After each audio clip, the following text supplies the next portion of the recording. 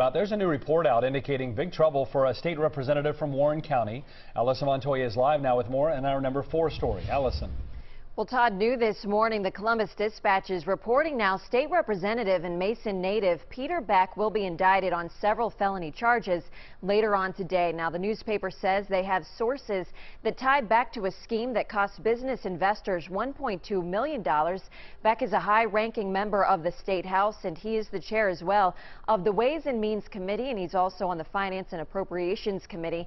According to the Dispatch, the newspaper there in Columbus, Beck has been sued by investors who say he used their money for personal purposes, including his very own campaign. Again, this is a report from the Columbus Dispatch, and we'll let you know as soon as possible as when Hamilton County's indictments are handed down for the morning so we can confirm this report.